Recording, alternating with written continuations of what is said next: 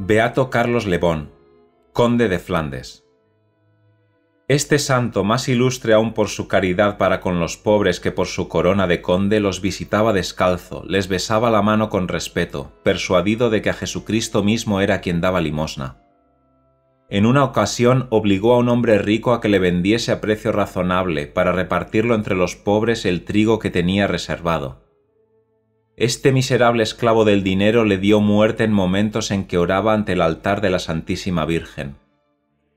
Qué preciosa muerte la de Carlos, que murió por la caridad ante el altar de la Madre del Amor Hermoso.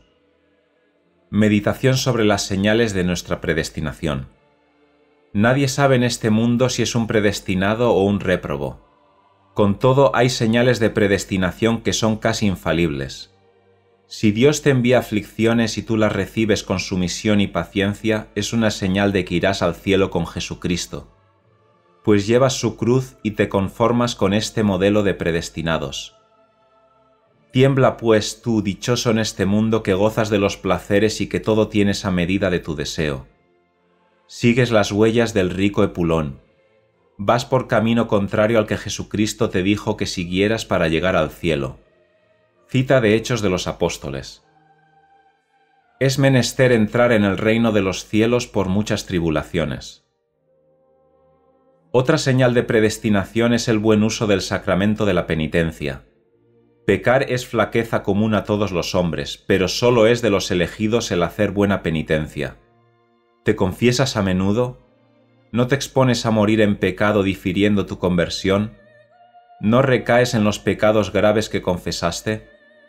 ¿Los remordimientos de tu conciencia te dan a entender que tu vida es mala? ¿Los escuchas? ¿Los apaciguas descargándote lo antes posible del peso de tus culpas? También son señales de predestinación el celo por la limosna y las obras de misericordia corporal y espiritual, la piedad para con Jesucristo moribundo en la cruz u oculto en la Santa Eucaristía, la devoción a la Santísima Virgen. Mira si hay en ti estas señales de predestinación, todas o algunas por lo menos. Examínate. Si las hayas en ti, alégrate y ten confianza en la misericordia de Dios. Cita de San Bernardo. Me parece que reconozco algunas señales de tu vocación y de tu predestinación. Oración. Oh Dios, que cada año nos dais un nuevo motivo de gozo con la fiesta del bienaventurado Carlos, vuestro confesor, haced por vuestra bondad que honrando la nueva vida que ha recibido en el cielo, imitemos también la vida que vivió en la tierra. Por Jesucristo nuestro Señor. Amén.